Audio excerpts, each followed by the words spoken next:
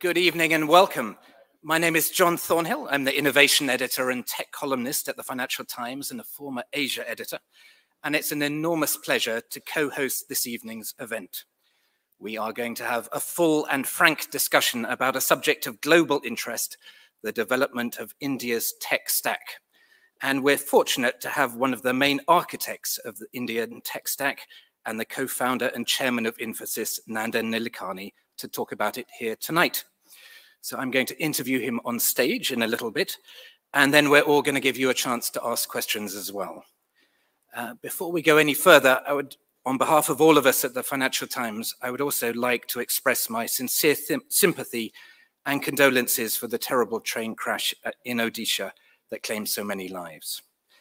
And I'd also like to express my thanks uh, to His Excellency Vikram Doraiswamy, uh, our host this evening from the High Commission. Uh, thank you very much for hosting us and in this wonderful room tonight. So, Your Excellency.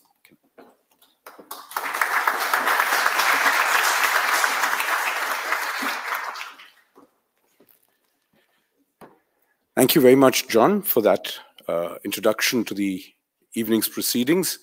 A warm welcome to one of the most admired persons, at least as far as I'm concerned, and certainly from my co colleagues here in the High Commission, Nandan Nilekani and his better half, Rohini. A warm welcome to all of you to uh, India House, and thank you indeed, Financial Times, for partnering us on this event. This is, of course, the first time we've done anything like this, so we're very grateful to each one of you for coming in. Uh, I'm sure there'll be many little niggles that we'll figure out. For instance, the absence of air conditioning might well be felt at some point of time, but you could pass it on to the warmth of our hospitality. Uh, we also look forward to this conversation, and I think uh, one of the things I did want to say is to position this conversation, first of all, as an answer to the question of why are we meeting on this topic? Um, from a layman's perspective, and in my case, it is very much an appropriate description. Uh, I see the idea of uh, DPIs as being the equivalent of the 19th century infrastructure, 19th and 20th century infrastructure that all our countries built, some with varying degrees of success. Uh, Achim Steiner, the UNDP administrator, in fact, actually described DPIs as the 21st century version of roads, bridges, and railways the lovely part about it is if you take that analogy further, is that the road is agnostic uh, to what you drive on it. It could be a public bus, it could be cycles, it could be uh, cycle rickshaws, or it could indeed be a Mercedes Benz if you're well off enough. Uh, DPIs essentially will provide us that level of inclusion, which in the Indian context is has been hugely transformative if I've left that position a little, a little indistinct, it is only because there is obviously a finer exponent on the subject. But my own, in my own limited understanding, I believe that it is vital for us to appreciate this topic because I think it is transformative and it is potentially a game changer, not just for developing countries, but for the world in as a whole. And that, in, in fact, is, is the answer to the second question that I wanted to position here, which is why are we meeting here in India House? And it isn't only just because we invited you, and it isn't only just because Nandan is from India, but it is because India has, and Nandan has played the key role in that, driven the DPI revolution. A number of other countries have done some very interesting things, but what we've achieved has actually started to show huge and significant results. The Indian DPI experience is based on the India stack, which is really three layers, three broad layers. The uh, Aadhaar story, the unique identity story, which if when when at the pearly gates when the good deeds are all being totted up nandan side of the ledger won't need any further totting up. Uh, because it has actually changed the lives of literally a billion indian people. They've become citizens as a result of that and that is no mean achievement for anybody to say. But it's also because the second layer of it which is the payment system has been hugely transformative too. Essentially at the beginning of this year, India alone did something like 8 billion transactions on, on, on, fintech platforms. And essentially something like 300 million people, 50 million merchants, utilized uh, payment platforms which were technology agnostic and therefore, like the road that I mentioned as an analogy, didn't really care whether it was uh, Ramu the tailor bringing his money across or whether it was, to use the same analogy, Nandan bringing his money across. And that, again, is the beautiful part of it. It didn't matter what system or who paid. And finally, the third part of it was the uh, bit that is transformative in terms of um, um, the, the sort of larger um, uh, data empowerment piece that goes with uh, the India digital stack. I think it's relevant for all of us because of the significant benefits this will have, not only for, for countries like India, but for the world as a whole. And therefore, my last point, why now? Obviously, the G20 is taking place in India, so it's timely for us to make this point. Uh, this autumn, we will have the summit, and we believe the G20 could be a great forum to drive global integration of digital public infrastructure. Brazil is a leading player and similarly in this. The EU has done some very interesting work. So there is obviously an opportunity there. I also believe that there is um, uh, that we currently face a challenge, and in this particularly uh, vulnerable era of geopolitics and geoeconomics, it probably makes sense for us to look at the next big driver of growth, which DPIs could be leveraging leveraging digital empowerment and digital inclusion as the next big wave for the world to surf. If all of that works, then we will not be looking at trickle-down theory. We will not be looking at empowerment incrementally through socialism, but through digital empowerment, which could transform the lives of literally billions of human beings. That, say what you will, will be wonderful. And so let me close by welcoming Nandan and by saying, in his words, that what will it need? Of course, it'll need money, but as Nandan said, you don't need deep pockets, but deep commitment. Correct? Thank you very much. Thank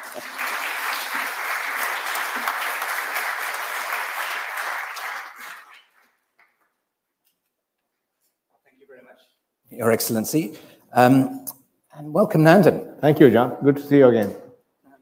I'd like to talk to you about um, two small accomplishments of yours. Um, transforming the private sector in the world's most populous country. And the second is transforming the public sector in the world's most populous country. And I wondered if I could start with a kind of big vision uh, of all this. Uh, the other day, I was talking to Dame uh, Professor Wendy Hall, uh, who's the Regius Professor of um, compu computer science at Southampton University, an author of a book called The Four Internets. And in her take on the digital economy, we have had four internets. We have the original libertarian uh, version of the World Wide Web that uh, no one should control this space. We then have the second, which is the kind of US commercial internet, which is you've got the Facebooks and the Googles and the big tech companies dominating it. Uh, you then have the Chinese internet, uh, which is a very controlled um, uh, kind of internet um, with a kind of very strict firewalls. And you have a European internet, which is a regulated bourgeois internet, I think she calls it. Um, and she told me that if she were writing this book again, she would call it the five internets and include India as a whole separate digital ecosystem. So could you start, is that right? Is India creating something very different from what we are seeing elsewhere in the world at the moment? Oh, yeah. Well, I'm biased, but I do think so. And uh, the idea is that, you know, we live in a digital economy, right? Everything we do, our relationships, our ordering food, buying things, learning, meeting friends, everything is done on the internet, especially so in the pandemic. And given the digital intensity of our lives and our economies and our societies, it's important that how the how we architect that to become more inclusive or more equitable or to enable more people to really very important. And I think what India has done the last 15 years build the building blocks of that kind of an where digital technology is actually leveraged for not only for economic reasons but also for social inclusion reasons.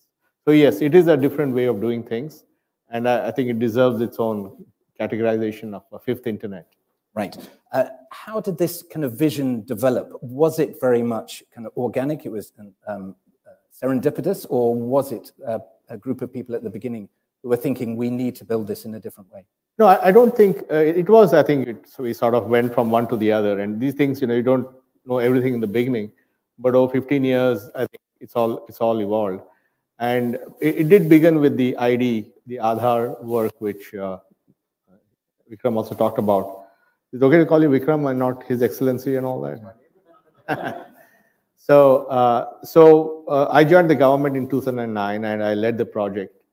And uh, by the time I stepped down in five years, we had reached 600 million people with ID. And then I met Prime Minister Modi. He, he was very enthusiastic. He took it forward. And today, 1.3 billion Indians have the ID. And it's important that it's a digital ID on the cloud. That's, so it's online. And I can do an online verification anywhere in the country in real time. And that does about 80 million authentications a day. So it's really very widely used for all kinds of purposes. So that was one fundamental thing which the foundation of and it was designed to be very simple ID that just confirmed that John is John and everything else was done by somebody else. And then that led to another capability, which is what you call as know your customer or electronic know your customer. And the reason that is important is because whether you want to open a bank account, get a mobile connection, buy a mutual fund, you have to prove who you are. And before Aadhaar, several hundred million Indians didn't have any ID whatsoever because in most Western countries, the root ID is the birth certificate. But in India, many children were born who didn't have birth certificates, and therefore they couldn't really progress. So the idea was if everybody has an ID, which they can open a bank account, get a mobile connection, board the train, get a job, show it to the cops if they're stopped, suddenly they are empowered. And I think that that then laid the foundation for many other things. But these were the things that happened. Uh, at least uh, some of the people in the audience will know that uh, in this country we have a very high allergy to kind of uh, IDs. Um, yeah. I'm, you... I'm, I'm, a bit perplexed. This is a country where there are between 5 to 7 million CCTV cameras. There's one, one CCTV camera for every 10, 11 people. And everyone is being recorded on a CCTV camera at least 30 to 40 times a day. And with facial recognition, I know who that person is. So the argument, therefore, that having an ID affects your privacy is, I think, a bit late. Yeah. so you have noticed that we British are not always consistent. In our, our and you have about 30 million people on TikTok. Indeed. All right. And imagine what that is doing to you. we might come back to that too. But um, is that, um, but was that an issue that you had to overcome? Was there a kind of civil rights objection to having? No, I mean, obviously there were some people who were genuinely concerned about uh, both privacy as well as, you know, surveillance state and those kind of things. But I think we designed it also to be very simple. So it only says John is John. Now, what John does with it in a bank is in the banking system. When the ID is used in the healthcare system, the record in the hospital. So we call this as a federated infrastructure. And we just did the root ID that confirmed that you are the person you claim to be. And no data is collected about you. Unlike in a big tech company where they're collecting data every time you log on, no, no data is collected about you. So actually, it's very privacy protecting. Uh, so I think, and, but the case went to the Supreme Court. Uh, and it was the second longest running case in the Indian Supreme Court. But finally, a four to one judge bench said that Aadhaar was, uh, you know, within the privacy principles of India. So I think we have put that to bed. Right. Now, as you're saying, that that was the kind of base layer of the whole digital public infrastructure, and people have been building on top of that. Yeah. Uh, so it's now used um, massively for welfare payments. It was used for sure. vaccination passes and so. Yeah. I'll, um, maybe I'll spend a couple of minutes on that. Of course. Yeah. So what happened was the KYC or the electronic know your customer accelerated the opening of bank accounts because earlier if you didn't have a paperwork you couldn't even open a bank account. Now you can open a bank account in two minutes electronically. And when Prime Minister Modi came, he launched something called Jan Dhan program, massive push to open bank accounts for people, and 700 million people got bank accounts. So in India's financial inclusion went from 20% to 80%, just because you could open bank accounts electronically in real time. And the same thing happened uh, in mobile phones, and uh, Airtel, Jio all use eKYC to get mobile phone accounts. And so banking penetration and mobile penetration was essentially expedited by the fact that you had electronic KYC. So all these were the infrastructure. But the thesis was that every, if everybody has a bank account, a mobile connection, and a digital ID, then there are the new instruments in the digital world to move ahead. Yeah. Um, but I think I'm right in saying that India doesn't have a data protection law at the moment. There's, It- there's no law, but be a there's good idea to have one. Yeah, of course, of course, there is a law which is under consideration. Then there was a law version in the in the parliament, and then they took it back and they're putting a new version. But in the meantime, the Supreme Court has laid down the principles of privacy very well. Uh, in fact, Justice Chandrachud, who was in town last week, was a key member of the five five judge bench which took a decision. on.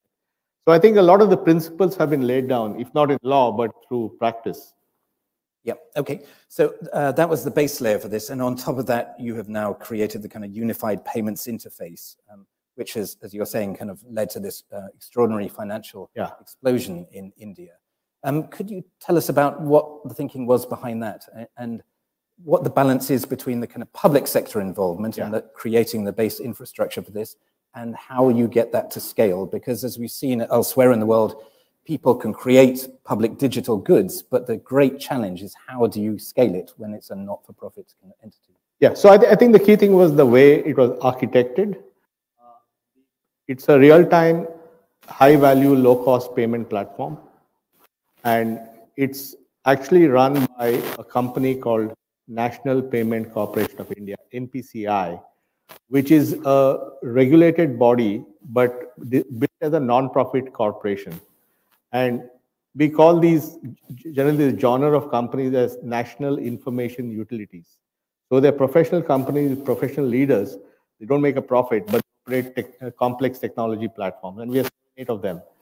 So NPCI this platform, and the money is in your bank account and connected it to all the banks. But the operation of that can be from a consumer app. In other words, you get the reliability and robustness of the banking system, and you get the consumer experience app. You have Google, WhatsApp, you have uh, Phone PhonePe, which belongs to Walmart, your Paytm. All these people provide very interesting apps on you do your payments, but behind the scenes, the money is debited to your bank account. And the payment trail is, as uh, Vikram said, it's agnostic. So you and I could be exchanging a payment, and you could be on HDFC Bank, I may be on SBI, you may be on Google, I may be on WhatsApp, and we can do it seamlessly in real time. And that system today does 9 billion transactions a month. Nine billion. Uh, the last time I checked, it was eight billion. So So last month, great. the month that May was 9. Um, and when I wrote about it a, a while back, um, we had a lot of readers in, uh, underneath my um, article in the FTs. I pointed out the difference between the volume of transactions in India and the US. People are saying that cannot possibly be right. But do you have a comparable figure for the US recently? Well, uh, I, I, I, certainly the India is a significant part of the world's uh, transactions. It's certainly bigger than the, the US. But also it's also a very low-cost payment system. So no, the, the power of this is the democratization of payments. You have 300 million people who use it, and you have 50 million uh, QR codes at merchants where you can make payments. Just to give you context, in 75 years of independence, we have only had 6 million point of sale machines where you could make payment with a card. In three years, we have 50 million merchants where you can pay with UPI. You can see the acceleration and scale in a matter of three to four years. Um, and this, um, as the uh, Vikram was saying, is uh, becoming a model for other people elsewhere to use. I mean, I think already you can use it in Singapore if you're uh, NRI, you can transfer money Yeah. India and so on. But uh, to what extent is it becoming the kind of model for public in? Well, it's obviously uh, one of the uh, offerings from India. NPCI set up a company called NPCI Global to take it global. It's three ways. One is acceptance, like you go to Harrods or you go to Dubai Lulu Mall, you should be able to pay with UPI, which you can do in Dubai now. Second is cross-border remittance. You want to send money from Singapore to India to your family, you can do it in time today. Third is if a country says we will build our own UPI. So all these three are in play. And uh, I assume that in the coming years, we'll see more of that. Okay. To what extent do you think um, it is going to be dominated by the big players? Um, you've created this infrastructure, as you're saying, it's kind of agnostic as to who um, operates on it. But I think uh, some of the numbers I was looking at, kind of uh, PhonePe and Google Pay, account for over 80% of the share of the UPI transactions between them. Is that a worry for you, or is it? Well, I mean, it's it's obviously it's credit to their marketing and they're creating a very useful app. And but anybody can like Paytm is is there, they're doing well. The other thing now is that you can you don't need an app. You know, for example, when you order on your Swiggy, which is like Uber Eats or Deliveroo here, you can pay inside the Swiggy app, in which case uh, you don't even need to go out. So there are many things happening. Over time, the number of uh, number of people being able to pay will, you know, different. It'll be a much more, it'll be a very competitive market on the consumer side. Because the goal is today we are at about 9 billion a month. The goal is 1 billion a day, which is 30 billion transactions a month. So that 30 billion is only going to happen through many, many players. Okay. Um, now, uh, your latest project is the kind of open network for digital commerce, um, which is an interoperable commerce scheme that the authorities began testing, I think, in Bangalore last year, didn't they?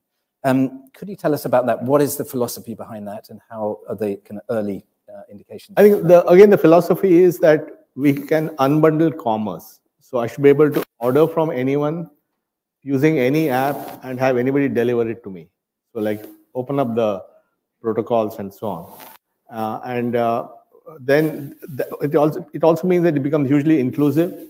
So let's say we have several million small retailers. They can join this grid and I can sit in my house and order my neighborhood store delivered to me directly. I don't need to go through a huge, uh, complex you know, interaction. In fact, we are seeing a very good example of that. Uh, PhonePe, which is owned by Walmart, has launched something called Pincode, which is for hyperlocal commerce. They're already doing several thousand transactions. And you have a new way of doing mobility, where the payment is directly between the consumer and the cab driver so that again is done using these protocols. So I think it's essentially saying if e-commerce is going to be so profound in our lives, is there a way to do it in a much more inclusive and cost-effective manner? And at the moment, um, apart from the um, open network, uh, digital commerce is very much dominated by Amazon and Walmart through Flipkart. Yeah, but they will they they'll obviously be very big players and they'll continue to do that, and the, the service they give and all is extraordinary. But you also will allow millions of small retailers to join the network. You know, so it just makes it much more inclusive. Yep. How are you going to get the flywheel operating on the open network and getting people to use it? Because you could imagine when people do um, start uh, using it, it will take on a momentum of its own. But again, how, how can you? Well, we, we have found with all these uh, digital public infrastructure that it needs great private companies to adopt it go all in and build great companies, right? So in the case of banking, we had Paytm, we had the big banks like HDFC, we had many banks came. In the case of the mobile industry, it was Airtel and Jio and all who came in. Uh, so similarly, we think that these companies, when they see the power of this, will invest. And once some invest, then others will will not will you know they can't afford to fall behind. And that's how we create the flywheel. You create the sort of competitive intensity and so on. Um, and what are the what's the kind of broad reaction to how it's going at the moment? It's it's it's pretty good. I mean, uh, I think uh, it's still the transaction volumes are not in the scale that we would like, but every day I see new interest, and uh, uh I think the key will be delivery because if you can fix delivery, and now what's going to happen is that this model will create dedicated delivery companies, so only do delivery for a living, and they'll optimize themselves because they will have traffic coming from different apps so it creates a new architecture of how e-commerce setup looks like. Right. Uh, a mutual friend was showing me uh, how this works on his app, and uh, was showing me that if you wanted to buy a McChicken burger, uh, why anyone would want to in India, I'm not quite sure, it would cost them 282 rupees on Swiggy or Zomato, and at the moment only 109 on uh, ONDC. Um, which suggests that there's quite a lot of kind of price subsidization or there's a yeah I, I, don't want to go by these prices because as you said we don't know who's underwriting what and so on but over time i think the ondc model will be more cost effective because you will essentially uh, everybody it's you know adam smith at work everybody's doing what he's good at and they all work interoperably. So they, it'll it'll lower and it'll increase competition. So it'll definitely lower costs. And to what extent will uh, the people who use this system uh, be responsible, or the people who are selling on uh, ONDC be responsible for the goods that they sell. So I, I saw one kind of critical article about it, arguing that if I'm a consumer and I buy something on it, and I d- don't like the quality of it, um, who is responsible? Yeah, so I think it, there's a whole set of protocols and rules being laid down on dispute resolution, and even that will be done online. So there's online dispute resolution, and there's also a cross-company reputation management system, so that you know reputations on this network will be generated based on your activity or or your good behavior or bad behavior. So I think it's obviously complex. You know, nobody's done this before, so it'll take time. But even when we did payments, they said, "How can it work?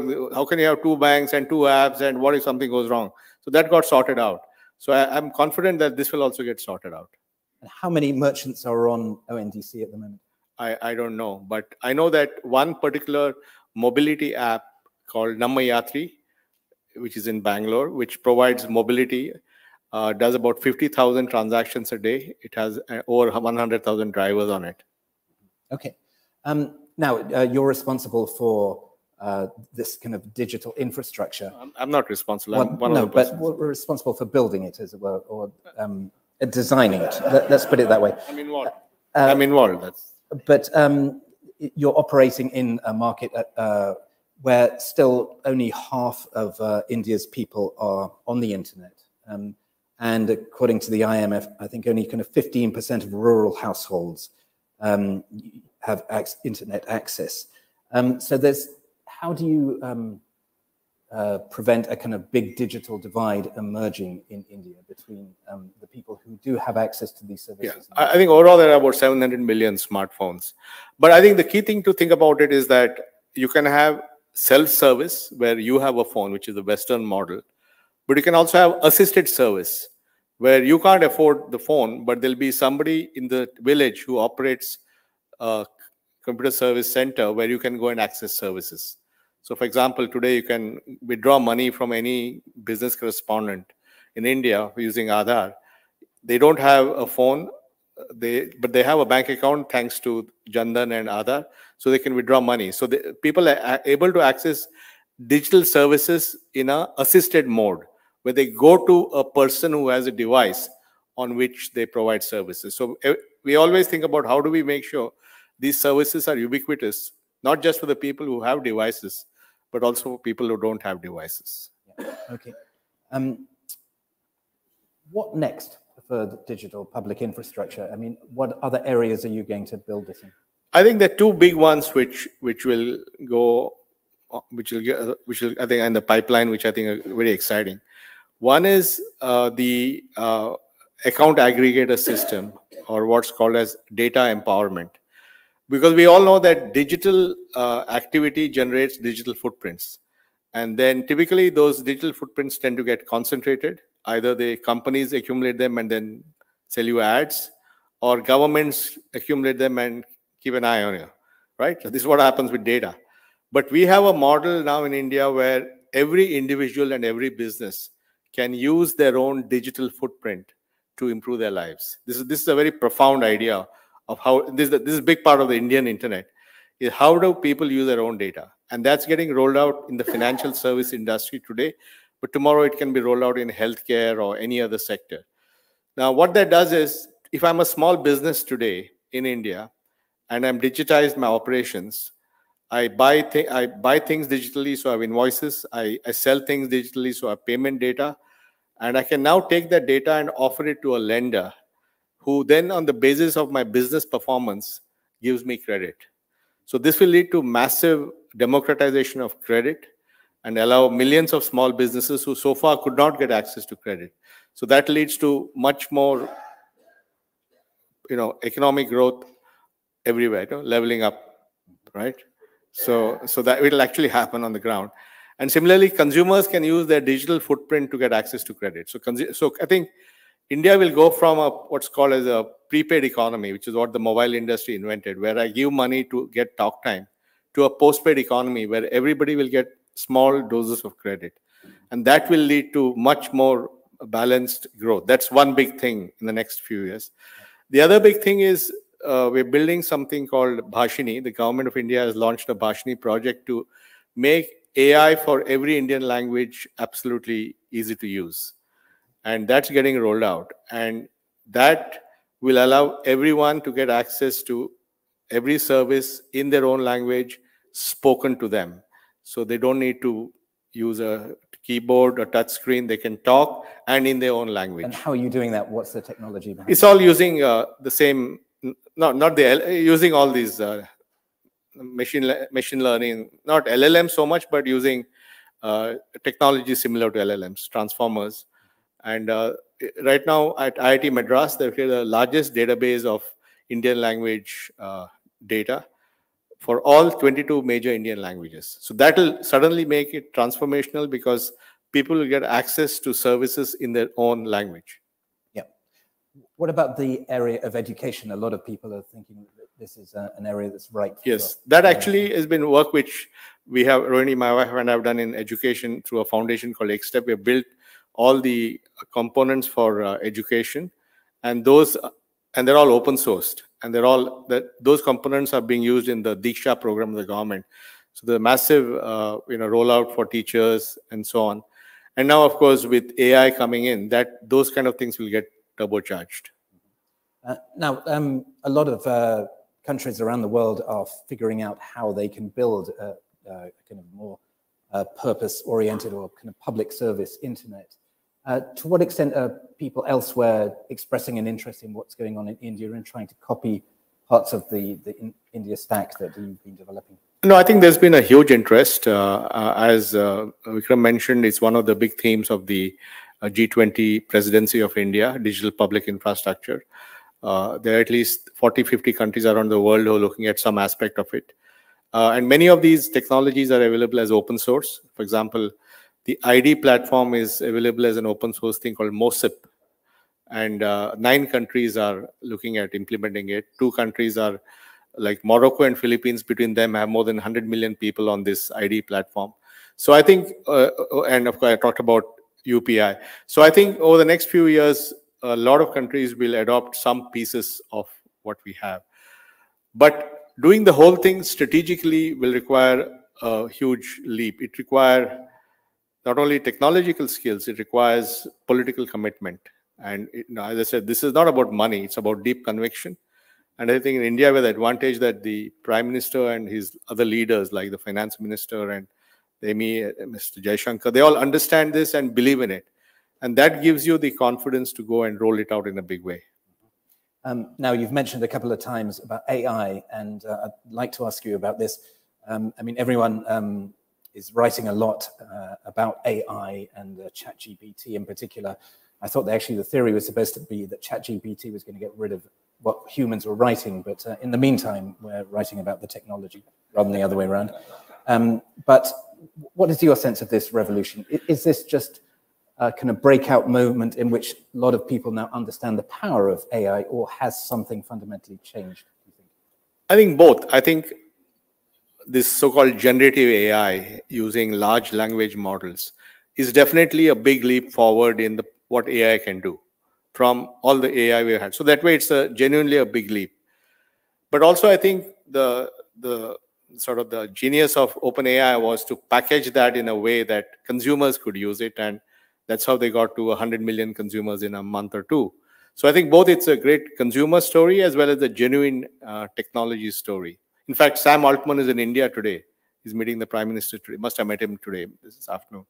So I think uh, both are happening, and so it's an exciting time. And I think we are just at the beginning of this, but also think it's a wide open game. I, I don't think there are any winners yet. And in fact, there's a lot of open source AI coming. So even as you have ChatGPT from OpenAI and Microsoft, or you have Bard from Google, uh, you know, Facebook has completely open source Llama, which is being used. So I think it's open yet. There's going to be uh, many, many people in this game. And I think the challenge in India will be how do we use all this just to make things better for people? And how are you thinking about it at Infosys? Are you developing your own large language models? Are you no? We, we, we would just use uh, open source models and train them on uh, you know data of the companies, and we think we will get good enough results with that. We don't need to use some big uh, general AI. For, uh, so what's your best hunch about where which areas will be most impacted by this? Well, I think businesses, of course, a lot of business activity, business processing, all that will get automated. Customer service will have a there'll be a big impact. Uh, I think uh, uh, the real thing is, I think rather than talk about replacing people, I would look at this as amplifying people's potential. So if every one of us has an AI assistant to make our job better. That's really what we need to aim for. So that's in the business side of it. In the uh, other big thing is going to be in education. I think uh, you'll finally be able to look at personalized learning in a very, very, very intuitive way. So that particularly in India is a big thing because if you can get everyone can have an AI tutor, then you know it's a different game. I was looking at some uh, Pew uh, opinion poll research uh, the other day, which showed that uh, people are a lot more concerned about AI in uh, Europe and the US, uh, and a lot more positive about its uses in countries like India and China and across Asia in particular. Uh, wh why is that, do you think? Is there more of an acceptance that this is? Yeah, I, I, think, you know, thanks to all the things, you know, people who didn't have access to phones have got a phone, people have got a bank account, people are able to, you know, make payments. Today, a vegetable vendor in India is able to sell for 10 rupees digitally and she, her productivity goes up. And at the end of the day, she's safer because the money is not physically with her, it's in a bank account, so nobody can extort it from her or rob her. So I think people have seen and and and and I know it's it's going to an ATM is far better than dealing with somebody who doesn't treat you well. So so I think there is a lot more acceptance of technology's positive aspects in India and countries like India, which is why I think they're more open to these things. Uh, nonetheless, I mean, there have been, I think, uh, genuine um, kind of worries about the power of this technology, in particular in areas of kind of disinformation, um, also in terms of kind of. But how can that get worse? uh, well, we'll see. Uh, in terms of kind of uh, economic dislocation and joking. job replacement. Um, and also, um, you know, if you believe some of the, the researchers recently in the, the kind of an existential risk, do you, do you believe in that? Well, I, am I'm, I'm not so sure about that. I mean, we have we already have enough existential risk. We have the nuclear risk, we have climate change. So there's just one more of them in that sense. Uh, but I think uh, absolutely, I think we already have a massive problem of fake news, deep fakes, which will only become more with AI for sure. And there will be job changes. Many jobs are going to get removed, but new jobs will get created. But there's a time lag for that. So there could be some short-term dislocation for sure. But I think I would focus on if we can use it to improve healthcare for a billion people, or if we can use it to improve the learning outcomes for 200 million children. Those are really such huge upsides that that's what we should focus on. And obviously, you know, make sure that the downsides are protected against. Uh, the prime minister here, while he's been in America, has been calling for you know, international regulation of AI and seeming to position himself as the, the champion of this, having written a white paper not so long ago which said that we shouldn't regulate AI pretty much at all. Uh, but um, uh, what, what, do you think of that? Is there a need to create an international atomic energy authority equivalent for AI to coordinate this on a global level or and to steer off from? Well, I, I, think it may be a bit uh, premature for that. For one, is not everybody's going to listen to you. So if, if there are countries that are building AI without permission, then you can't do much about it. The second is that uh, it's, uh, I think, it's a it's a period of rapid innovation that is happening today and that requires permissionless innovation in some sense. So I think, I, I, certainly I think we have to figure out how to make sure that we minimize the harms of this. But I think at this point it's more about uh, the innovation coming out. And we'll have to put in guardrails on this like anything else. Uh, there's one kind of final area I'd like to explore with you a bit before I open this up to the floor, but it's the uh, geopolitical environment in which um, this is all taking place. Uh, we now uh, have a real tensions between the US and China in particular on tech. Um, we've seen the whole kind of chip war uh, over semiconductors and so on. Um, India is a very important trading partner for both the US and China. In some respects, you're caught in the middle of this. In, in others, you made your position quite clear with um, China in particular um, by kind of banning TikTok that you were mentioning before and quite a few other Chinese apps. Where do you see India's position in this big geopolitical tech race? Well, I, I think uh, India has a lot to offer in the tech world. In, in, in you know, essentially, Indian companies are building tech for the world.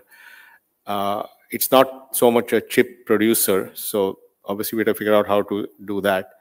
Uh, the good thing now is that hardware manufacturing is coming to India because many countries have realized they have too much concentration in one place, so there's a lot of uh, that happening. And India is benefiting from that. We're seeing lots of large global companies. So I think obviously it's a it's a delicate thing, and you know, I'm not a diplomat, so I don't want to get into some hot water here. But, but I think it's you know you have to navigate through all this in a way that meets India's strategic interests. Uh, when I've been in India in the past, um, the, people have often made the argument that um, India is going to be the software power um, in Asia, and China was going to be the hardware power. And as you're saying, I mean, India is now positioning itself as an, like an alternative manufacturing center, as you know, Apple or whoever wants to kind of diversify their manufacturing. So do you think um, India does have a real opportunity now to develop its uh, hardware sector? Oh, absolutely. You know, uh, I've, I've been also waiting for it for a long time, but now I feel it's for real. Uh, and I, have been, uh, you know, just last a month back, I went to visit uh, semiconductor, um, a mobile manufacturing and electronics manufacturing company in Chennai. I was simply amazed and blown by the sophistication they had. It was as the same as their factory in Guangdong or whatever. So, so I think I think I'm much more because there's better infrastructure. There's better, you know, uh, there's people skills are better, and also the good thing about these companies are they're 100% women. So suddenly, you know, the, in India, one of the challenges has always been female participation in the labor force. So I actually think that one of the significant byproducts of electronics manufacturing will be a significant uptake of women in uh, in in, employ, in employment. All right, great. Um, so I'd like to open it up for questions. I think we have a microphone. Yes. Um, so the gentleman at the front. Thank you very much for really, really exciting. Can you just introduce yourself? Uh, my name is Nadesh Gupta. Uh, I'm the policy lead for innovation technology for the City of London Corporation. Uh, one of the things I'm looking at at the moment is uh, leading delivery of um, corporate digital ID in the UK working with government. I've got a much more spicy question for you tonight, if I may. Uh, no pun intended. Um, so large language models depend on large language. It's digitized. India has 387 languages, some larger, some smaller, of course. But large language models, the smaller languages, just simply do not work. Will AI see extinction those smaller languages? Actually, that's one of the things that uh, this AI for Bharat work, which in fact we have supported at IIT Madras, is looking at. Initially, they will focus on the two major, 22 major Indian languages, and they're building the best data sets on these languages, both oral and written and everything. And then they're taking up many, many of the uh, long tail of languages that we have and building that. So in some sense, part of that project is actually to what you said, that how do we make sure that we have the full diversity of languages that we have today. I mean, it is one of the stunning developments in uh, AI, isn't it? I remember going to visit Google quite a few years ago for um, talking to the people doing the Google Translate project. And at that time, I think um, the Kazakh government were very keen to have a kind of English language Google Translate. And so they um, had this big national campaign to get everyone in Kazakhstan to translate English and Kazakh language to provide the training data for the Google Translate algorithms. Now you wouldn't need to do that because you can create synthetic data or the algorithms have got so much smarter that you can have um, translation between a lot kind of smaller data sets than you could in the past. Uh, we had a question over here. Uh, have we got a microphone?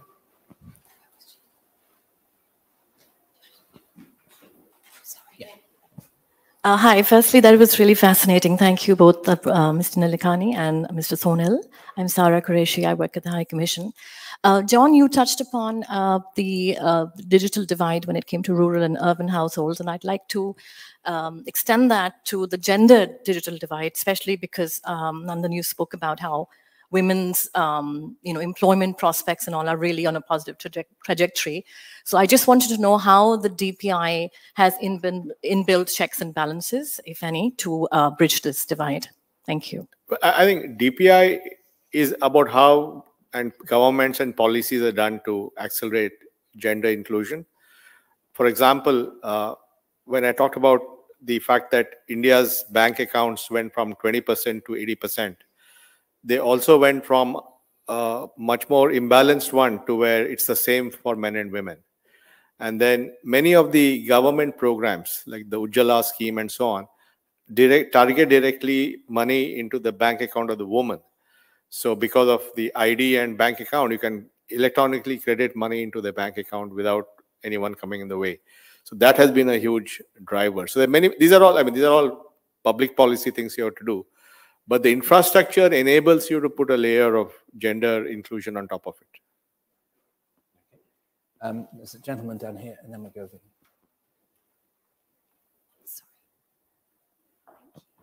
Um, Carlos Montes, Cambridge uh, Business School. Um, at, um, with Jaideep Prabhu, we have been reviewing some of the work on, on digital infrastructure um, and more from a world perspective rather than just India.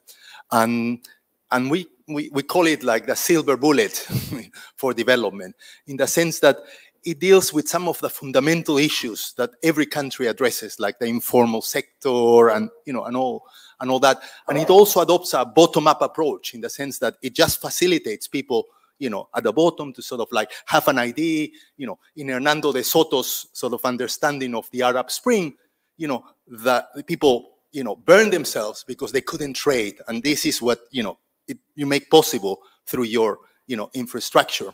Um, the question, and you have answered a little bit that already, but it is a bit to my surprise because, you know, we were working in Ethiopia with the office of the prime minister, and, you know, we're talking about these issues on how much, you know, because as you say, all this, you know, infrastructure is open. You have, you know, donated to the world as a way, you know, from India. And why is it that, you know, you think, you know, countries are not just running to say, let's just copy all this. You know, we don't need to do anything on innovation just to copy all this. You know, you mentioned political commitment, but what else you think it's? it's yeah, I think political commitment and leadership that understands technology is very important. And and perhaps I think we have to do a better job in putting out. I mean, as you said, this is actually creating the ladder for people's aspirations. They get an ID which they never had. With that ID, they get a bank account. With that ID, they get a mobile connection. With that ID, they get a job with that job, they get money in the bank. Then they have a digital footprint of their activities. Then they monetize that by getting a loan and so on. So actually, it's a ladder of, and for a billion people, right? So that that's what the power of this is. So I, I think perhaps we just need to do a better job of articulating this. But I, I and also, you know, what's happening is that, you know, we, the direct benefit transfer of money into people's accounts makes the giving benefits efficient and that was shown in the pandemic, where India gave 160 million families real-time credit into the bank account as uh, for that. Whereas in many societies, they took months and check payments and whatnot.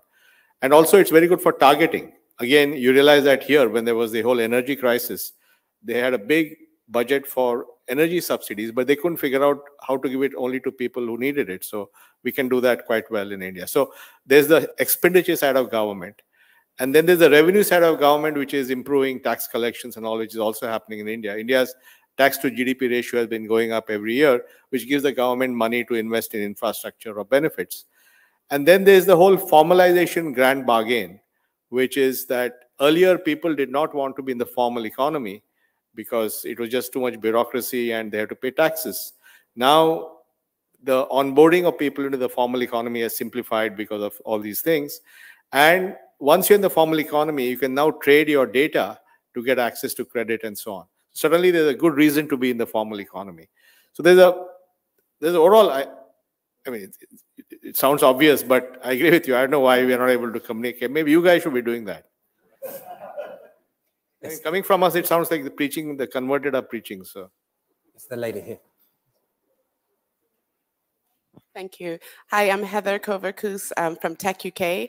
Before I joined Tech UK, I worked in Commonwealth Secretariat um, working on um, international development, particularly focusing on small economies and small countries. And they face a lot of the same challenges that India does, but on a very, very small scale. And so it's difficult to see you know, to sort of see yourself in India in some ways, the, the, the amount of people that had bank accounts that were able to just join because of it is like, you know, tens of times more than the population of some of these countries. And so I just wonder to what extent um, scale is a factor and whether or not smaller countries with similar challenges of, of people in remote areas that, that need this kind of access and services, whether it's too expensive to do it in a smaller place or whether or not scale isn't really a challenge and whether we can like take this example and just sort of just fit it into the context of a, of a smaller country?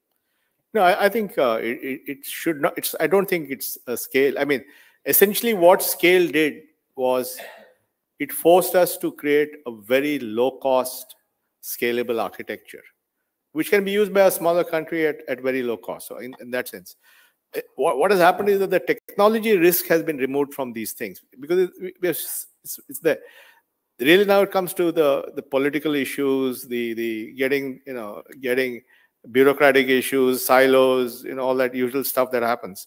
It's it's overcoming that. That is always the challenge. It's never technology.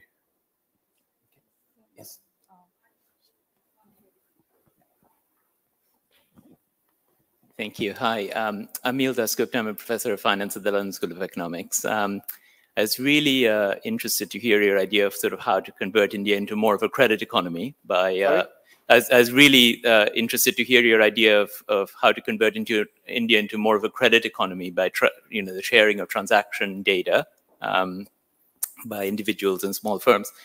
I think as, as economists, we worry a lot about sort of you know credible information sharing between sort of individuals and small businesses and banks, and this sounds like a, a really amazing idea. Um, in some sense, it's it's like open banking on steroids in some sense, the, the thing that's been being yeah. tried out here my, my one thought was that in some sense, in the lead up to this competition or proliferation of like payment systems, right, is almost your enemy, right? Because what you need is like for one system to have all the transactions go through so that the full picture is available. And, and so in some sense, what's your view on, on that? You know, it, it, do you think that that can happen? No, actually, I'm not sure you want to centralize all this data because there are other consequences of centralization. The way it works in India is in real time, I can talk to somebody and say, get my bank statement from bank X, get my utility bill payments from the utility company, get my insurance payments, get my tax returns in real time. And they will then give it to me signed and encrypted so that it can't be tampered with and I can then direct it to go in real time to a lender and tell the lender you can use this data only in these conditions. So we, it's qualified consent. You can use it only once, you can use it within a week. And to enable this, we have a traffic cop in between called an account aggregator, whose job is to act as the person, the entity which provides this movement of data on your behalf. But because the data is encrypted, they can't see the data. So they can't fish around with the data. And these account aggregators are regulated entities who are licensed by the central bank. So it's a very, very strategic architecture at scale. Okay, question back here. Thank you. I'm Nick Coots. I'm a member of the Innovation Advisory Board of Unleash. And in Mysuru, on your campus, we created 220 solutions for the United Nations uh, SDGs, courtesy of your support. We had over 9,000 people apply from across India, and we took 1,000 candidates. But few startups survive. Something like 42% don't survive for more than 12 months. But we need startups to drive employment, particularly of young people. How do you see digital public infrastructure being used to support and, and to sustain startups? Yeah, I think the DPI plays a huge role in the startup economy. Uh, I think the startup movement in India is another sort of non-linear change that has happened. In 2016, India had 1,000 startups. Today, we have 90,000 startups. So it's gone from 1,000 to 90,000. And you know, 20 years back, every kid coming out of IIT was on a plane to the US. Today, he's saying, "I want to do a startup in Bangalore." So there's a fundamental mind shift change that has happened, and many of these companies have created uh, huge startups on top of this. I gave an example of PhonePe, which is owned by Walmart, but it was actually part of Flipkart, and it recently raised money at a 12 billion dollar valuation and that's entirely built on top of this infrastructure and there are many many companies like that so i think the combination of this digital infrastructure at scale with thousands of startups actually then creates the magic of innovation Hello. Thank you. I'm the founder uh, and CEO of an eSIM global, global mobile network, and we're pioneering the digital infrastructure of the mobile core, transforming it with partnerships with large MNOs like Reliance Jio. But we're yet to see a lot of uptake in eSIM technology in India. Um, and we believe that there could be a significant uh, improvement to Indian citizens for giving by providing access to this type of technology. Have you explored anything relating to eSIM? Or I didn't you, understand. What does the technology do? Uh, eSIM technology. It's the electronic SIM card. It's the ability to eSIM, download eSIM kind of eSIM technology. Yeah. Okay. I, I don't know the status of that. I'm sure it'll it'll take off, but I don't know the current situation with that. Okay. Thank you. Um, we have some questions down here.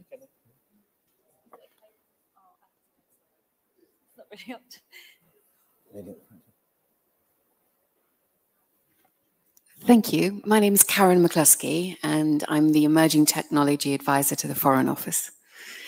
Um, um, thank you for today. I sort of understand a little bit better some of the decentralized aspects of the Indian stack. Could you help me understand further you, you've built with the stack an extraordinary mine of data.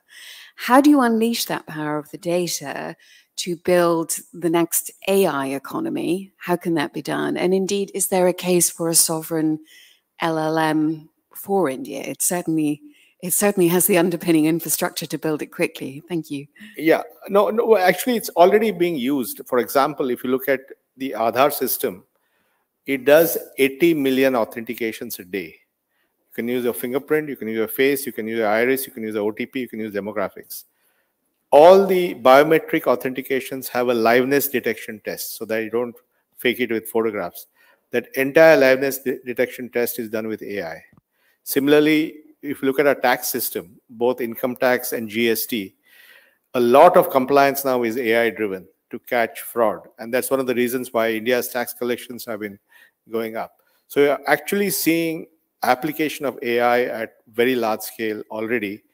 And I think many of these data will then be could form the basis for uh, see it's about a you know domain specific LLMs. We use this data on standard LLMs and make it uh, you know that's that's what is going to happen. For example, uh, what we have done is we have combined ChatGPT with the language AI and ingested all farmer information into the system so that a farmer in Hindi can ask a question and get an answer in real time.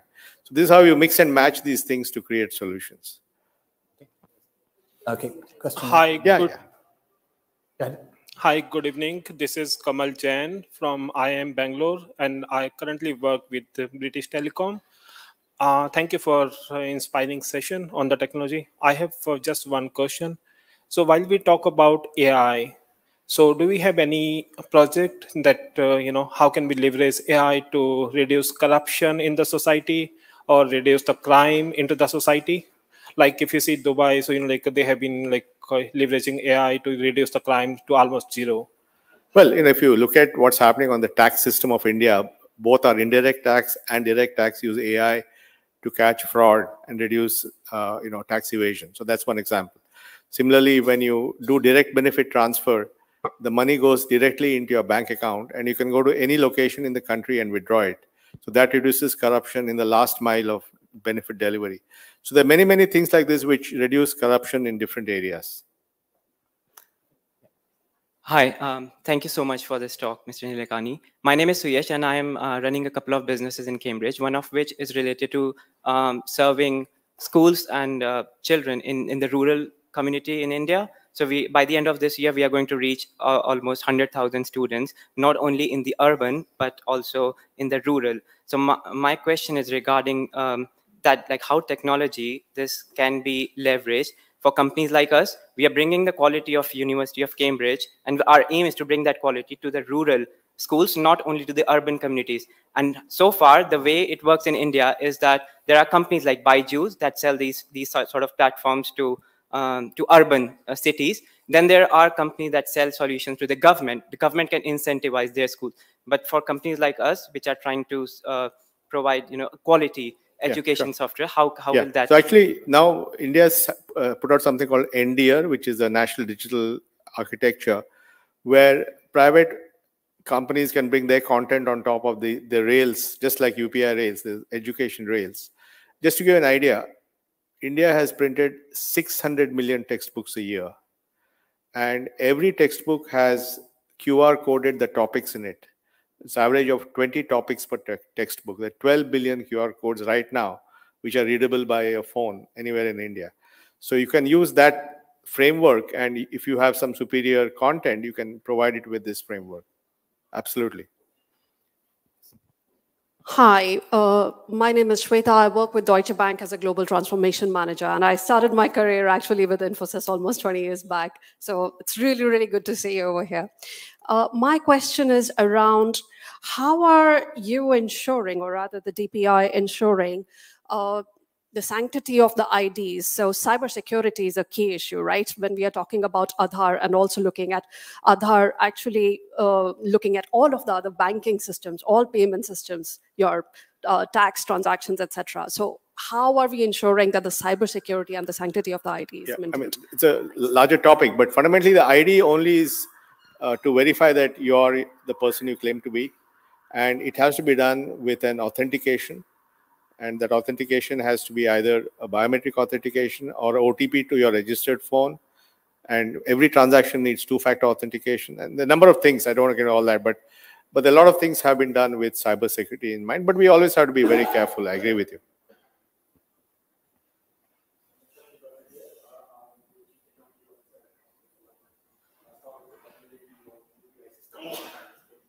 I'm sorry? Yeah, I know, I know. Yeah, great.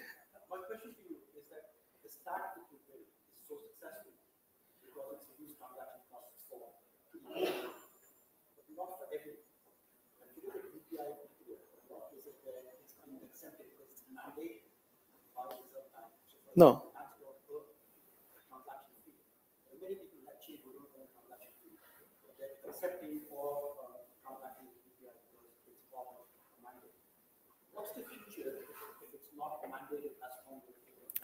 No, actually, what, what will happen with UPI is uh, currently you have bank accounts, everybody operates on the bank account. And you're right, the government said no revenue on that.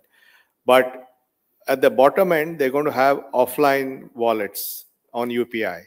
So then it's it doesn't go to the bank. You have a wallet in your phone and it deducts from that. So then the bank doesn't have any cost there. And the upper end of the transactions will be credit card based where they will make money. So now with credit card on UPI or credit on UPI, you will now have revenue models coming, which are credit based, but not for the core uh, debit credit, but for giving loans. All right. Uh, two final questions over here from there and then lady. Then, then uh, David Eaves from University College London and co-develop. Um, you've talked a lot about how DPIs are shifting markets and creating kind of new opportunities to build on top of them. I kind of want to talk more about the public sector.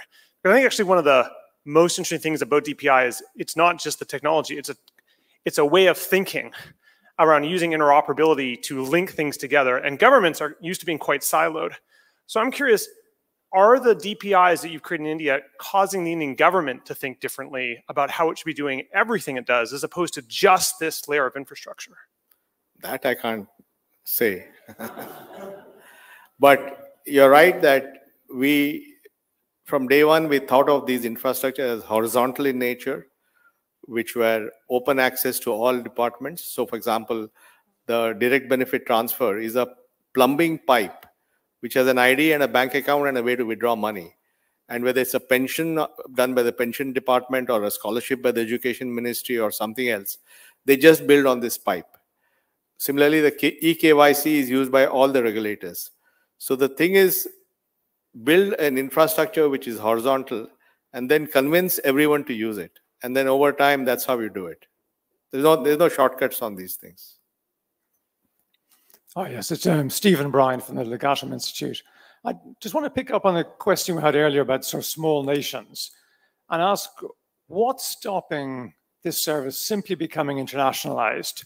So, you know, DPI as a service. So it's not having to have different instantiations in different countries, but simply global citizens can create global identities, trade with each other, and then it's simply up to governments to recognize what's already extant rather than building an Ethiopian or a, you know, a, a Ghanaian Yeah. version of it. you could do that and uh, but the thing is id has always been a sensitive sovereign issue because ids has got commingled with other purposes so citizenship is an id plus it says that you're a citizen of country x a driver's license is an id plus it allows you to drive and so on and so forth so the idea that id is just a foundational id that says john is john that's a bit too much for people to handle so but you're right if you create a foundational id then there's no sovereignty involved. You're just confirming that the person is who he or she claims, and then you can layer on that citizenship or whatever it is.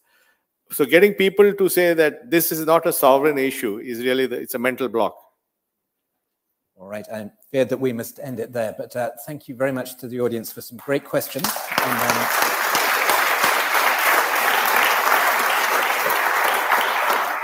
um, thank you very much, Nandan, uh, for a wonderful talk. I mean, I think um, whenever you go to Silicon Valley, there's this sense of technological determinism that technology is going to drive us in this one particular uh, vision for the future. And I think as you've uh, kind of wonderfully explained this evening, there is an alternative vision, many alternative visions. Uh, and I think you know, the idea of a kind of finternet, a different way of doing things has come through really powerfully this evening. And thank you very much to His Excellency for hosting us this evening. And thank you all for coming. Thank you so much.